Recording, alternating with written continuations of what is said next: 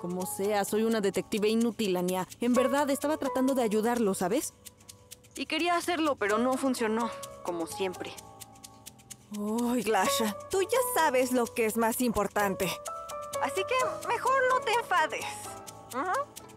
Enfócate en cuidar tu apariencia. Por cierto, los hombres como Dennis de verdad le ponen atención a esas cosas. Anya, ¿te has dado cuenta de que uso uniforme? ¿Y cómo crees que me voy a peinar? Por favor. ¿Por qué no te gusta mi cabello? Bueno, adiós, estoy en el trabajo. Sí, está bien. Te mando besos. Ay, Glasha.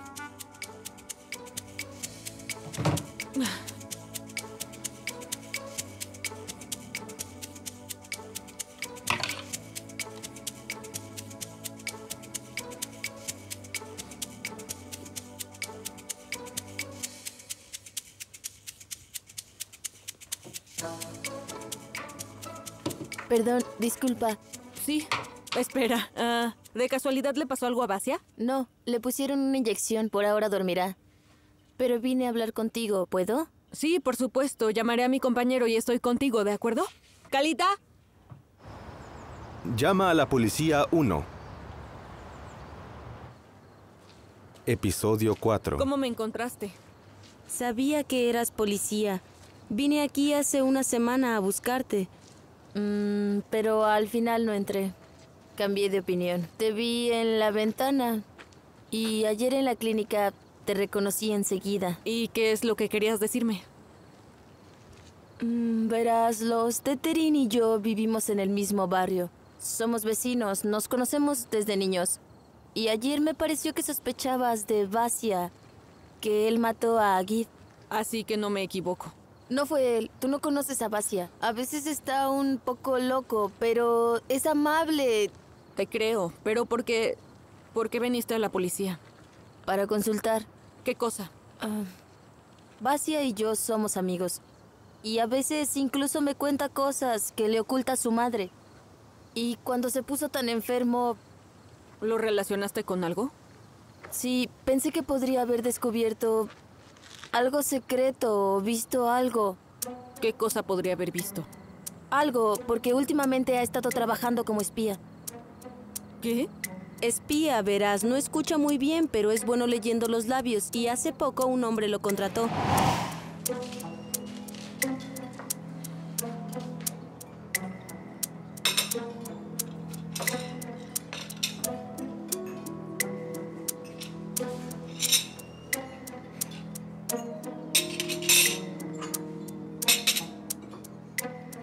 Revise que la cuenta esté bien cuando se la traigan. ¿Por qué? El camarero y Misha, el barman, están hablando. Hablan sobre la mejor manera de subir la cuenta. Y eso no es bueno. ¿Cómo lo sabes? ¿Estuviste aquí todo el tiempo? Por los labios. No entiendo. Tengo problemas de audición. Puedo leer los labios. Espera. ¿Puedes decirme de qué están hablando? ¿Esos tres hombres que están en la mesa? ¿En la terraza? Sobre mujeres.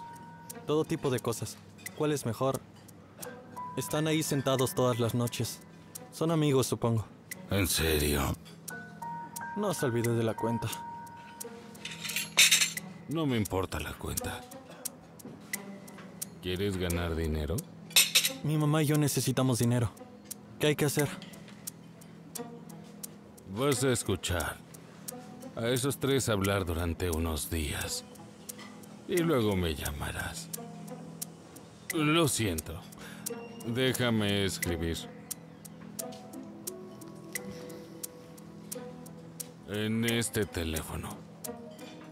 ¿Tienes un celular? Sí, tengo uno. Genial. Ahí escribirás de lo que hablen. Eres detective, ¿no? Sí. Pero no le digas a nadie sobre esto. ¿Entiendes? Ujú.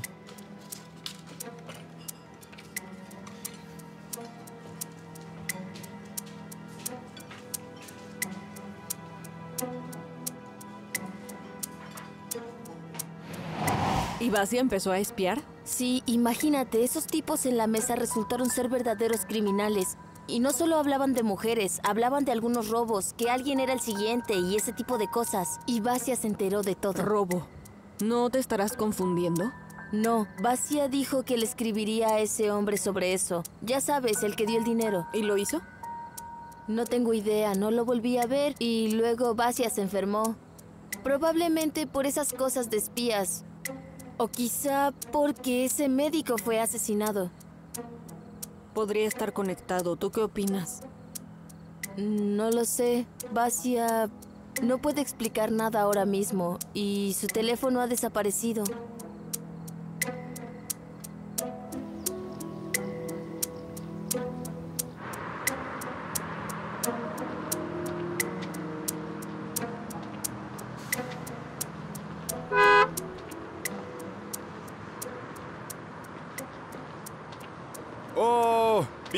Víctor Evgenievich, qué Hola, gusto. Valera. ¿Qué haces? Dime, Nada, saliendo del turno. ¿Y usted cómo está? con negocios en Tishilov. Solo pensé en pasar a ver cómo están mis hijos. ¿Estás trabajando? Sí, como petrolero. Vivo tranquilo, no me meto en problemas. Ah. ¿Y tus amigos Dan y Chumasi también viven aquí, no es cierto? Sí, aquí también.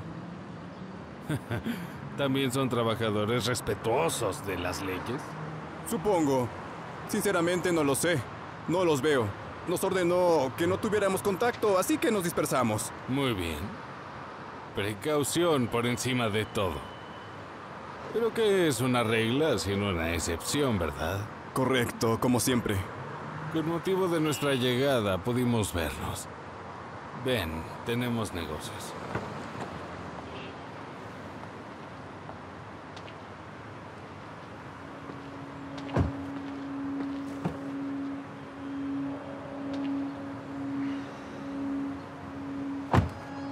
Policía. Ahora todo encaja. Resulta que Basia estaba siguiendo a los ladrones y debe haber oído que mataron a Gif. Así que lo relacionó y se enfermó. Muy bien, Glasha. Hm. ¿Ya viste qué suerte tiene? Café Bilias, eso es algo. Sí, pero no entiendo. El hombre que contrató a Basia... Eso no importa. Tal vez una de las víctimas se puso en contacto con la agencia. O tal vez tiene algún tipo de problema propio. Ahora solo tenemos que averiguar a qué teléfono envió mensajes el chico. Sí, pero más tarde. Y muy probablemente el número será desechable. Lo que es más importante ahora es que nuestros ladrones son habituales en el Café Bilias. ¿Qué? ¿Estamos planeando un arresto? Es poco probable que continúen sus reuniones ahí después del asesinato, pero no podemos retrasarlo. Bien, ve al Bilias, interroga al personal, tal vez recuerden a los chicos. Consigue una identificación. Yo haré los arreglos para el equipo de captura.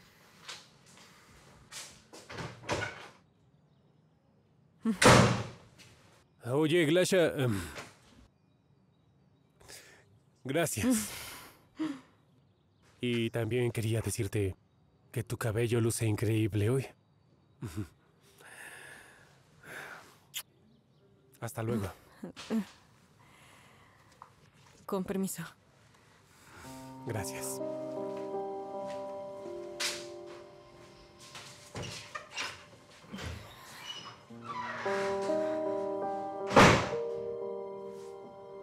Necesito una manicura. Para Anechka, con mucho amor de Tolik. Ese Tolik es un cobarde patético. Tira las joyas con inscripciones. Son peligrosas. Escucha, si no me atraparon antes, menos ahora. Claro. No hay suficientes casas ricas aquí. Exacto. Es un esquema confiable. No vamos a caer con él. Escucha, ¿y si Valera no va? Mm, Si necesita dinero, se irá. Conseguirá trabajo, otra gasolinera. Necesitamos un observador.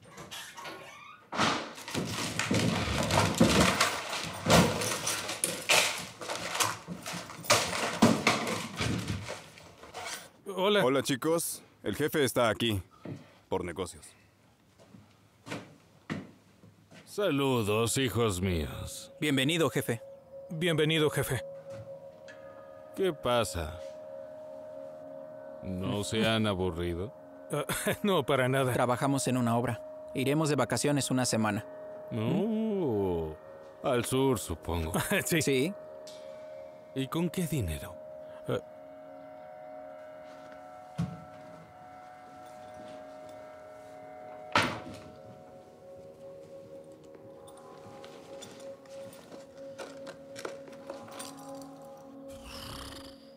Mira nada más.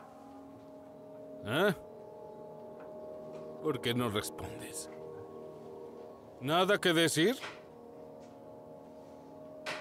Tendrán que responder. Delante de todos. Chicos.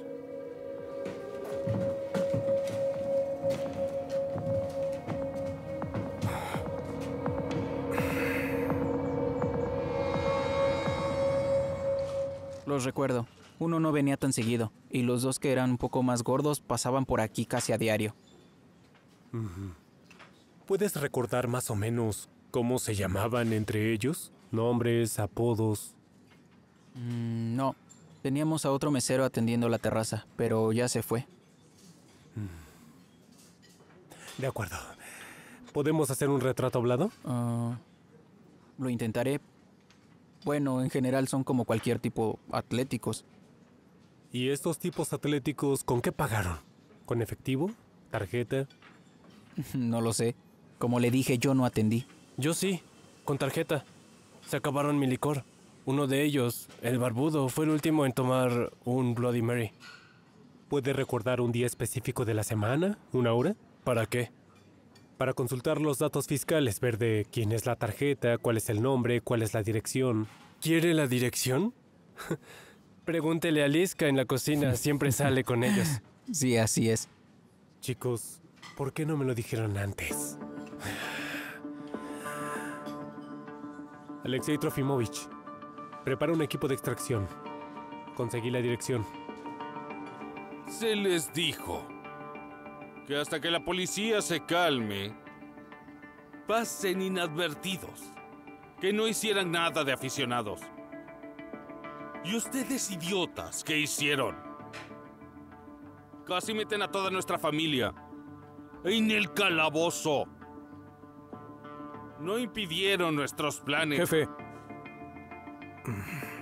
Gracias a aquel doctor. Autoridad local. Es amigo mío. Nos hemos cruzado antes.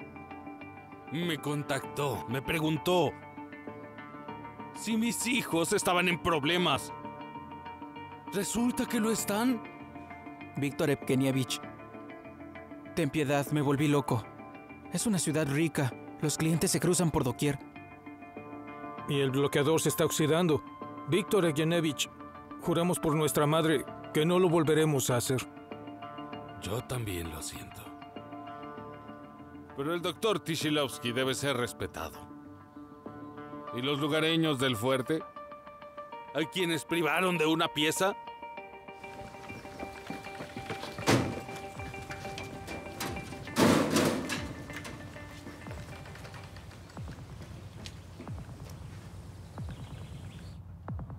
Es una buena lección para nuestra familia. Es para dar una lección a nuestra familia. ¡Al suelo! ¡Suelten las armas!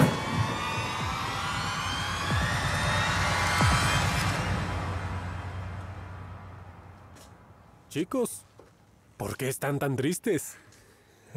Eso es lo que pasa cuando tus nunchacos llegan a tiempo al informe policial. Qué bien. Yo y Chumasi estábamos pensando en dejarlo. Fue Valera quien nos sedujo a robar. ¿Safronov fue el soplón? Sí, Valera lo hizo antes cuando trabajaba en la autopista.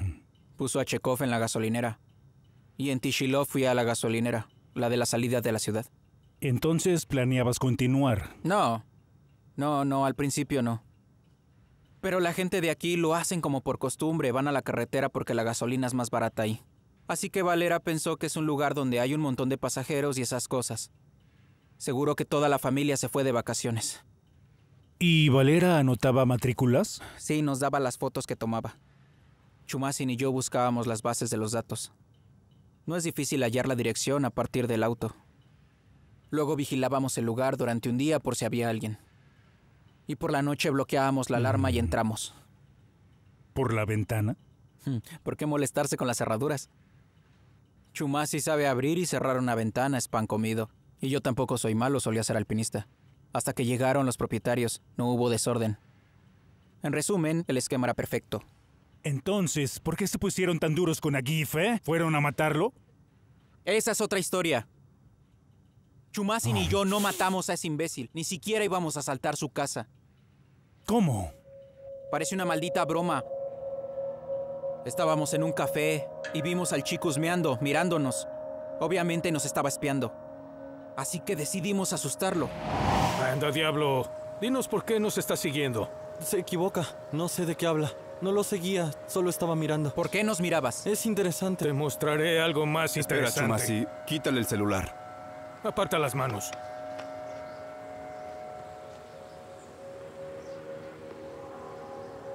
Vaya, vaya. Nuestro rufián no es tan tonto. Le envió un mensaje a alguien hace una hora. Le dijo que los tres estábamos asaltando una casa. Bueno, mañana estamos planeando un robo en Sunnyvale. ¿Quién eres? Vas a desear no haber nacido. Dime, ¿con quién nos vendiste? No me pegues. Me lastimas. Yo no sé nada. Dime, ¿de quién es el número? ¡Rápido! No sé su nombre. No lo dijo. Está claro, chicos. Claro que lo sabe. Pero no te preocupes, solo te pondremos de cabeza. Eso no será necesario. Ayer vi entrar a una niña, ¿no? Una niña muy bonita. Se llama Irene, ¿no? Vayan por ella, muchachos. A ella la pondremos de cabeza. No, Irene, no. Por favor. ¿Entonces recuerdas quién te envió? Pues el doctor me contrató. ¿El doctor? Dime su verdadero nombre. Agif, Kirill Romanovich. Mira, cachorro. Lee mis labios. Esto es entre nosotros. Piensa en Irene. ¿Por qué creíste las palabras de Teterin sobre Agif? ¿Por el doctor? Los chicos y yo escuchamos que hay una autoridad local aquí apodado el doctor. No le gustan los visitantes en su territorio. Es a lo que temíamos, incluso más que al jefe. Entonces, ¿por qué fueron a su casa si tenían miedo? La confusión comenzó cuando nos enteramos de este Agib. Es un bicho raro, un médico de verdad. Lo atrapamos, lo miramos.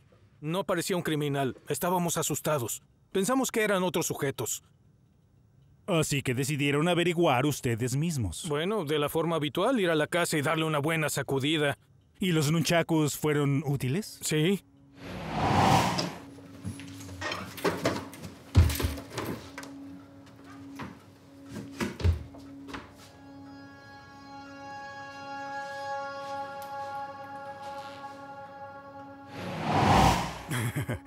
Imagina la situación.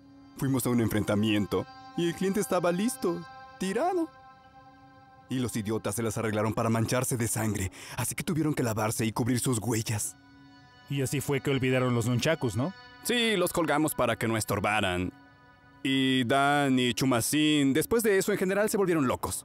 No me habrían dicho nada del crimen, pero se hicieron los guerrilleros. Y de hecho, estaban pensando en huir. No tuvimos tiempo. Necesito llevar a la Amigo señora de detective, la le pido que preste 13 especial atención al hecho de que yo no estaba en la casa de cama Por cierto, 13.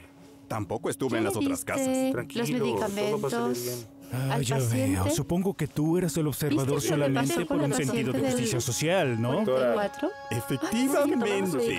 Hay que ponerle diferentes Policía. durante todo el día. Cada tres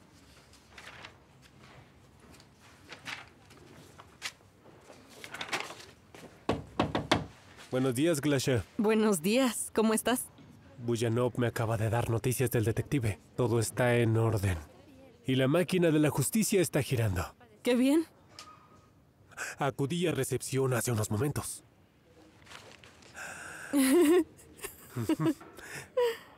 Por una inestimable ayuda a la investigación. ¿Por qué si yo no he sido de mucha ayuda? No seas modesta, Glasha.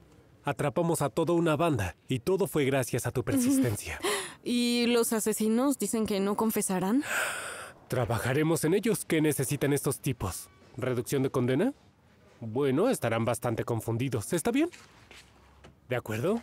Me voy. Denis, muchas gracias por el ramo otra vez. Nunca nadie me había regalado uno. Me alegro. Por cierto, ¿qué haces después de tu turno? ¿Tal vez un helado? Ah, hoy me reuniré con Pashkova. Vendrá a verme y sería un poco incómodo cambiar la cita. Yo misma la invité porque quería hablar con ella. Está bien, el helado tendrá que esperar.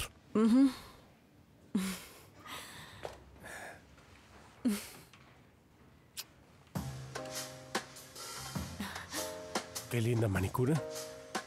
¿Te queda bien?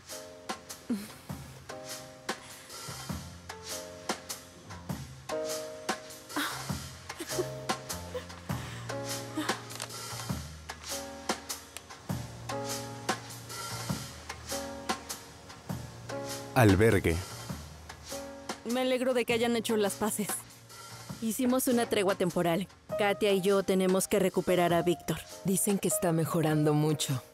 ¡Qué gusto! Porque antes tuvimos que cambiar el programa de tratamiento. ¿Por qué estamos hablando solo de nosotros? ¿Cómo estás tú? ¿Conseguiste averiguar para quién eran esos terribles registros? Sí, sí lo hice. Para tu doctora, Gif. ¡Qué sorpresa! ¿El que murió apuñalado? Sí, solo que el chico que las escribió no lo mató. A él lo lastimó él mismo a Gif, lo trató mal.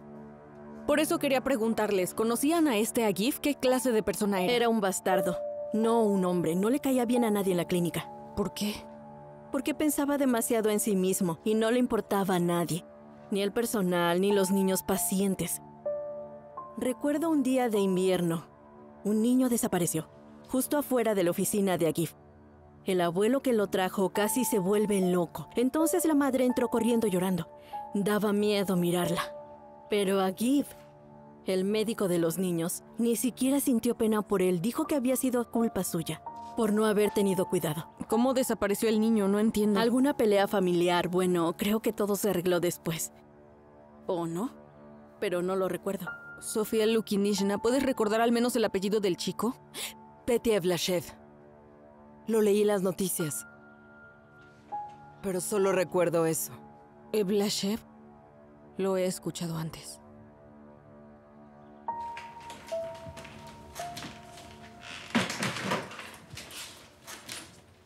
¿Por qué llegas tan tarde, hija? Solo serán cinco minutos. Es imposible localizarte. Necesito saber algo. Estábamos acostando los gemelos. Apenas podían tranquilizarse. Yana. Apagamos los celulares. Hubieras llamado a la casa. ¿Recuerdas que me dijiste algo sobre los Eblashev y el niño que se robaron en la fiesta de inauguración de su casa? ¿Estás loca? ¿Ahora? ¿En mitad de la noche? Escucha, o me lo cuentas ahora, o mañana irás a la policía a hacer una declaración oficial. No, bueno. ¿Qué tiene que ver conmigo? Escuchen, Yana. Hija. Liusha Yeblashina es la madre de Petia. Trabajaba con Yana en el mismo salón. Es manicurista, ¿verdad? Bien. Necesito. Necesito que me cuentes todo sobre los Eblashev. ¿Qué fue lo que pasó ahí? Dios, conseguirás que me maten. Ven aquí. En resumen, Lushka se casó con un tipo rudo. Tuvo un hijo, Petia. Cuando él tenía cuatro años se divorciaron.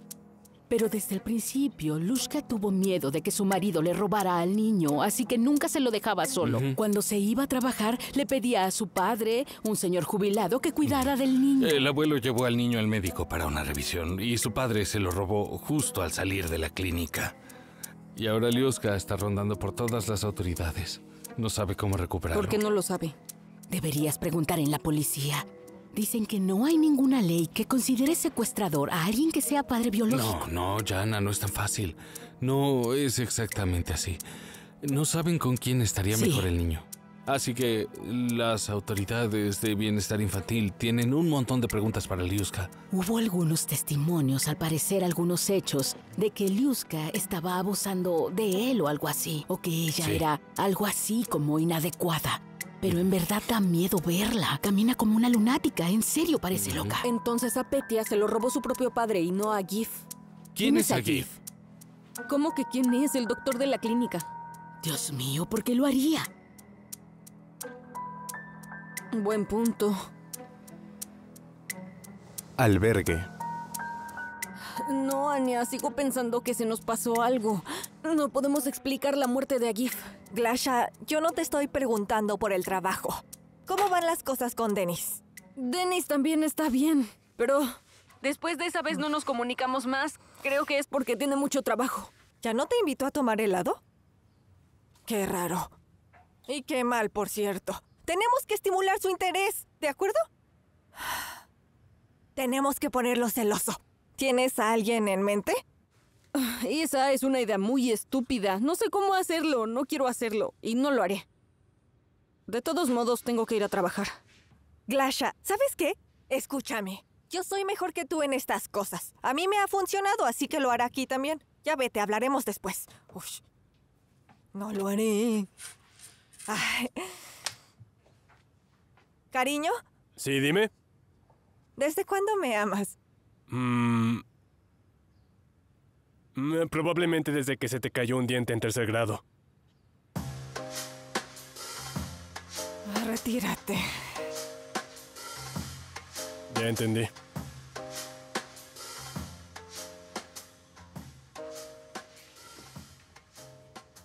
Ay, sí.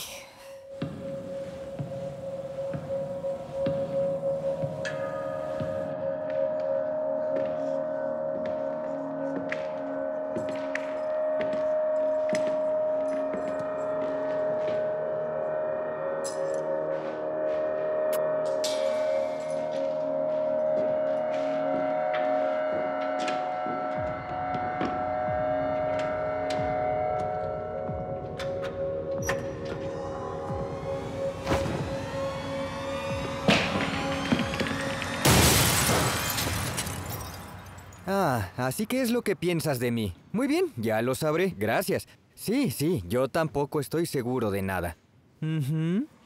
¿Qué quieres? Estoy en un asunto oficial. Saya, espera un segundo.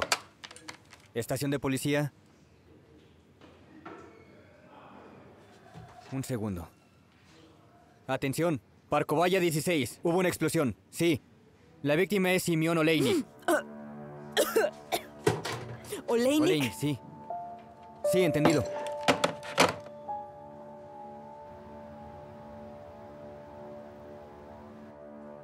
Mi marido y yo íbamos a trabajar a la clínica. Yo ya había salido al pasillo y... Abrí la caja fuerte para sacar unos documentos.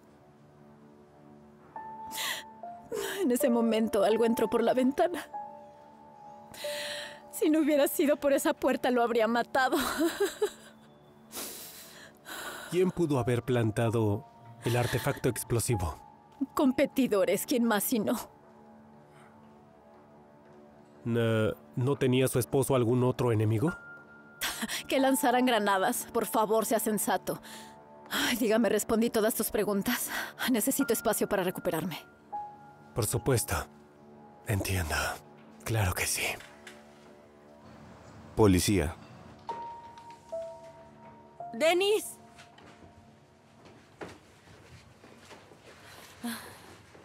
Dime, Glesha. ¿Qué está pasando con Oleinik?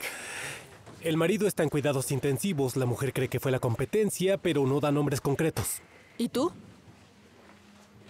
Lo dudo mucho, pero... ¿Qué peleas hay en Tishilov en el campo de la cirugía plástica? Es ridículo. Es decir, no somos Moscú. Y el criminalista y yo también estamos muy confundidos por el diseño del artefacto explosivo. Todo parece ingenioso, pero si fueran socios comerciales habrían sido generosos con mejores piezas. Todo huele mal. Denis, no has olvidado que Clara Oleinik era la amante de Agif, ¿verdad? Maldita sea. Ahora vuelvo.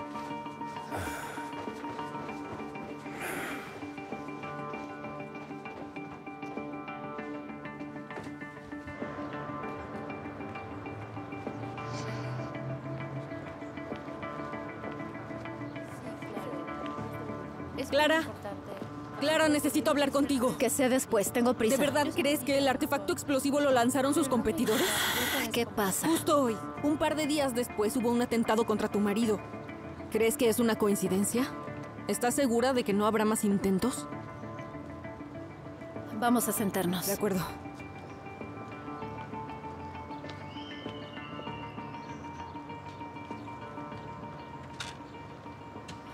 La última vez le dije que mi marido había contratado a GIF porque no es celoso. Eso no es verdad. Fue por un trato. ¿Un trato?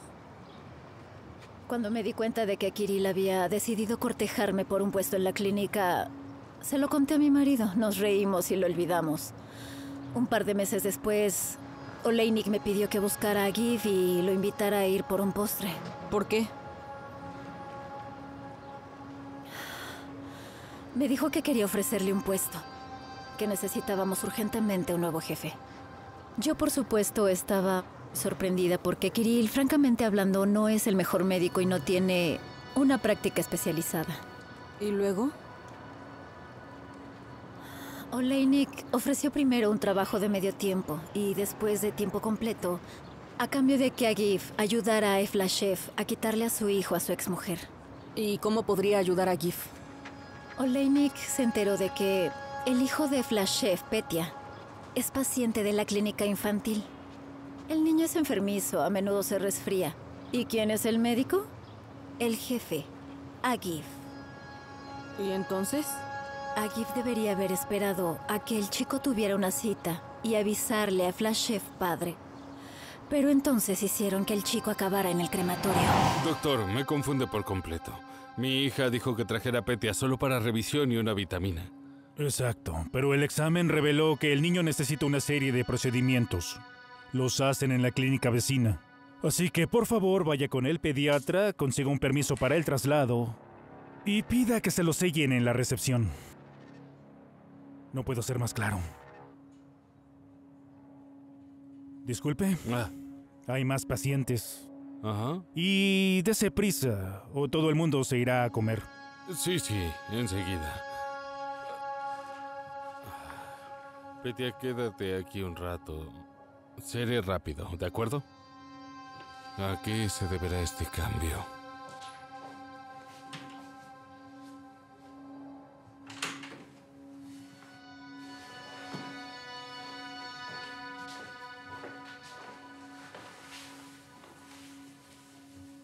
¿A dónde iría tu abuelo? Vamos a buscarlo. ¿m?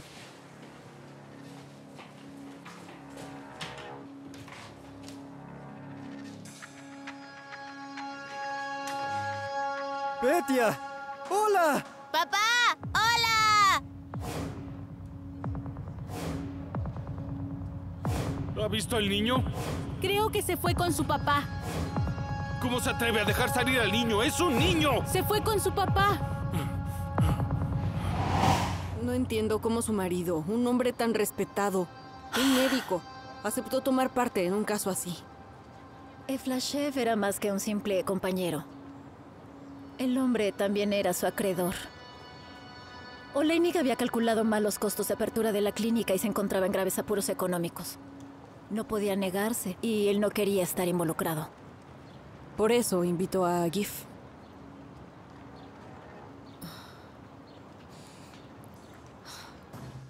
Resulta que la muerte de Agib y la explosión en el piso de Oleinik son eslabones de la misma cadena. Todo es una venganza por el secuestro de Petia Evlashev. Pero, ¿quién se venga? Me dijeron que la madre de Petia Evlashev, Ludmila Evlashev, no es del todo normal. Incluso hubo un juicio en su contra por la tutela.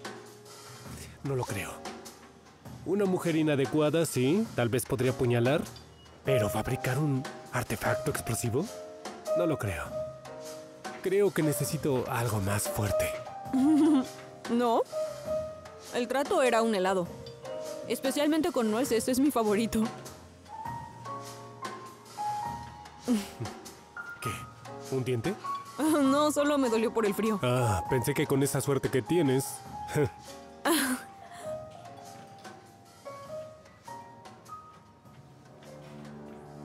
¿Te duele mucho? No. Es que también me dijeron que el abuelo de Petia sí es jubilado, pero es un militar retirado. Pero espera. ¿Por qué pensamos que únicamente por ser abuelo él tenía que ser una persona senil? Petia solo tiene cuatro años, el abuelo puede ser joven. Bueno, entonces todo encaja. Un cuchillo del ejército, un artefacto explosivo, pero entonces ¿quién sigue? ¿El yerno?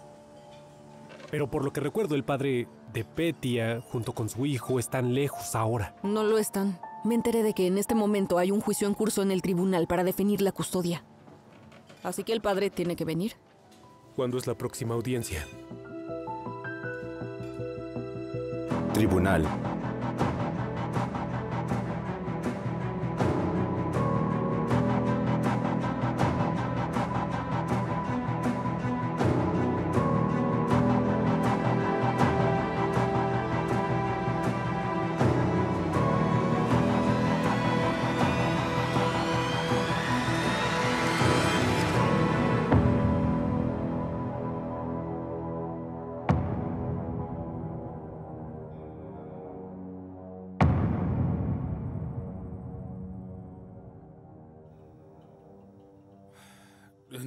Señor detective. No había nada más que pudiera hacer.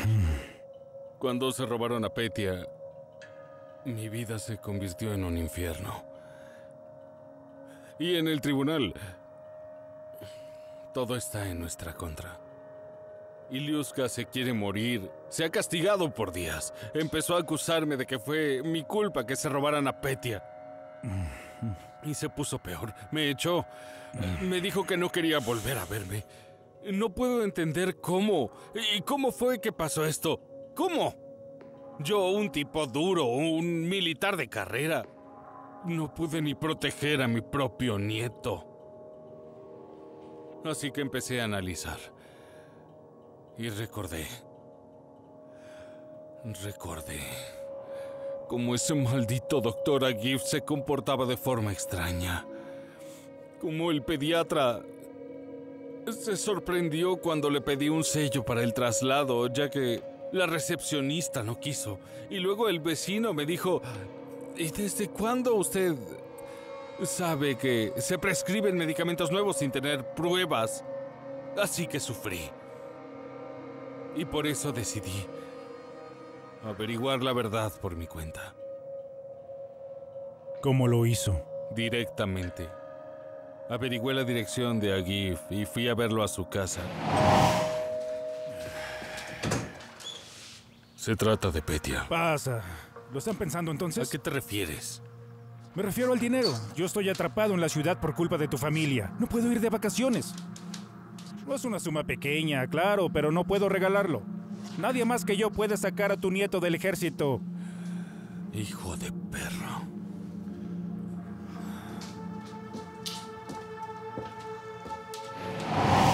Lo más sorprendente de todo fue que Gif no me reconoció.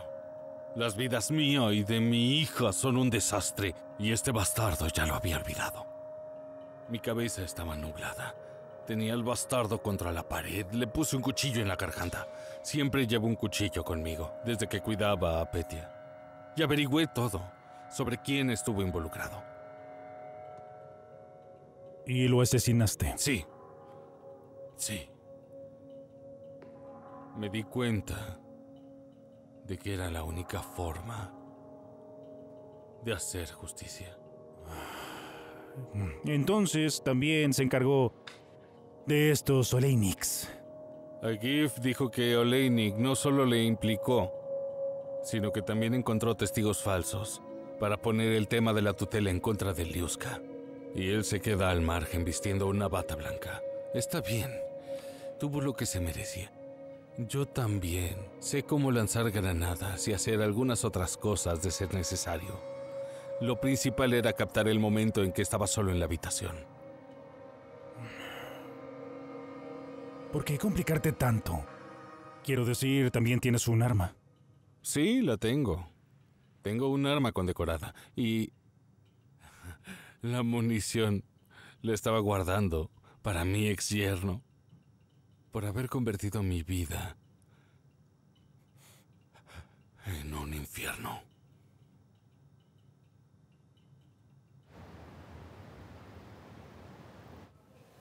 Vasia, hola. Me llamo Glasha. ¿Puedo? Sí, lo sé. Irene ya me lo dijo. Eres muy amable. Gracias. Me alegro mucho de que estés mejor. Vasia quería decirte algo, ¿verdad, Vasia? Pero tú debes hablar muy claro porque no oye bien. Te escucho. Es sobre el doctor. Yo no quería incriminar a Kif. Los bandidos me preguntaron quién está a cargo, pero yo no sabía. Entonces recordé que una vez dijeron que tenían miedo del doctor. ¿Los bandidos? Sí, estaban hablando en la mesa. Así que les dije el doctor. Me preguntaron el nombre y dijeron que Irene estaría en peligro. Mm, ¿Y les diste el nombre de Agif? Él es el doctor malo.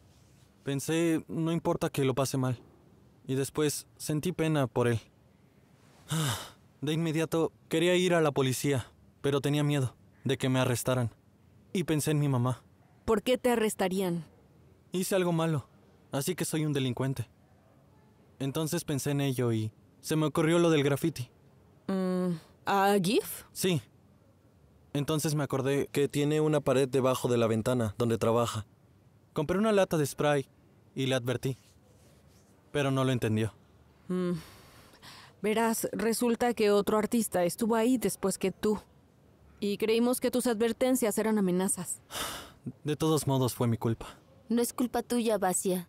Más tarde te lo contaré todo. Sí, Irene tiene toda la razón. No es culpa tuya. Agif murió por causas ajenas a él. Te lo digo en serio. Lo lamento, Glasha. Solo pude escapar hoy. No nos dejan hablar contigo. ¿Y qué pasó? Bueno, el caso del robo se ligó con el del robo en la carretera. Ahora todo se va a los tribunales. ¿Y Petia Eblashev? Lo más probable es que vuelva con su madre. Ya todo salió a la luz. Lo siento por su abuelo. Sí, sí. Pero el detective dijo que tiene antecedentes de confusión en combate. Por eso puede contar con una sentencia reducida. Mm, Qué suerte. Eso dicen. ¿Sabes, Glasha, tú... em,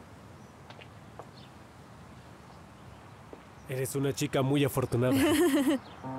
Deberías trabajar como amuleto de la suerte. sí, es cierto.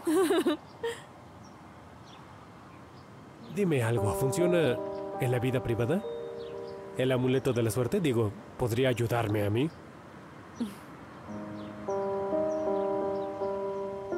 Tengo que pedirte un favor. Em, tengo entendido que tu amiga Anya tiene algunos problemas con su esposo. Y para ser honesto, yo estoy muy impresionado con ella. Y ahora que ya cerramos todos nuestros asuntos pendientes, quería saber si podrías presentármela. Ah. Ah.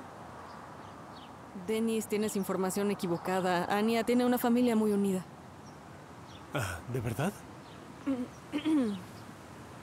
Lo siento. Tengo guardia nocturna esta noche. Creo que me iré porque me había olvidado que...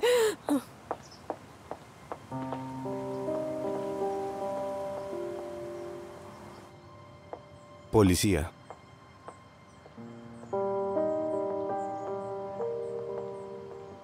Hija, ¿cómo puedo hablar con la policía?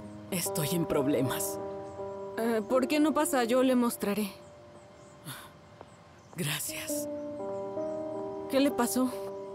Ya sabes. Tranquila, todo saldrá bien. No pierda la calma.